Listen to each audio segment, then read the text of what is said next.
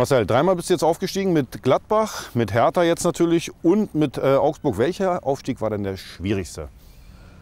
Es hatten alle ihre schweren Phasen durch die ganze Saison weg. Ähm, aber ich würde behaupten, dass äh, von Grund auf hier in Berlin ähm, es am schwersten war, von Beginn an.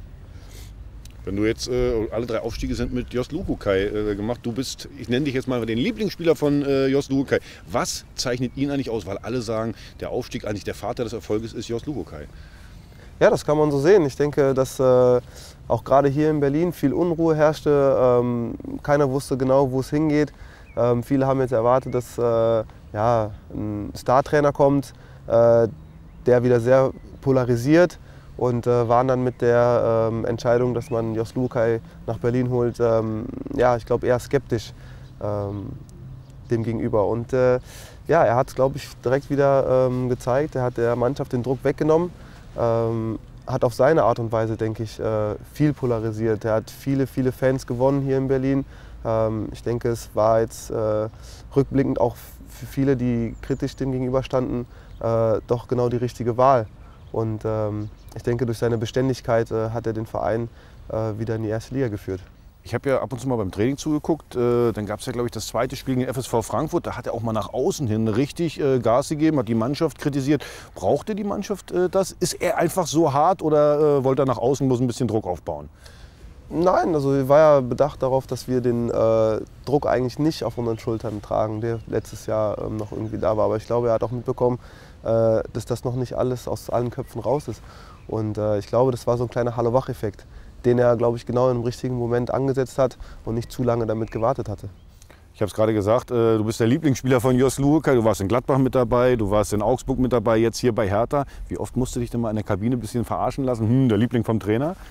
Äh, ja, das ein oder andere Mal kommt halt so der Spruch, äh, äh, was machen wir heute, du musst doch schon wissen und äh, äh, ja, oder was hat er denn beim Abendessen gesagt, wie spielen wir am Wochenende und sowas halt. Aber ähm, damit kann ich ganz gut umgehen. Ich denke, äh, ja, wenn die Leute die Sprüche halt hinterm Rücken machen, wäre es schlimmer, als wenn sie es vorne rum machen.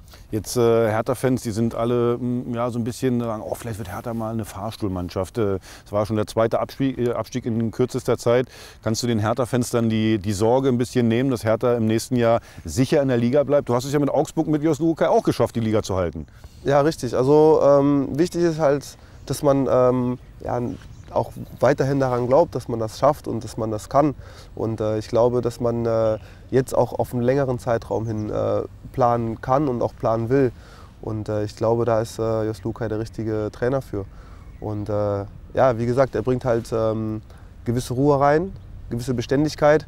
Und das ist, glaube ich, im Moment das, was zählt.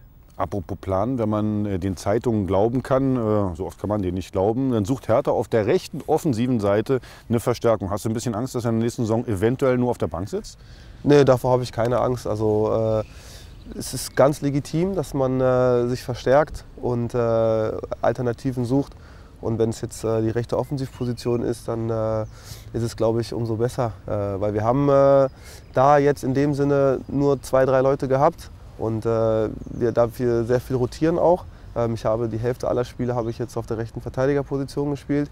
Und ähm, ich glaube, dass wir dahingehend dann halt keine Verstärkung holen rechts hinten, sondern dann auch wirklich äh, ausgewogene und ausgeglichene Spieler haben, die die komplette rechte Seite bespielen können. Also Hertha bleibt in der ersten Liga und du machst mindestens 33 Spiele nächste Saison. Das wäre natürlich das Optimum und äh, dass wir dann natürlich äh, versuchen, noch weiter zu denken, äh, kommt auch noch hinzu. Alles klar, danke dir. Danke auch.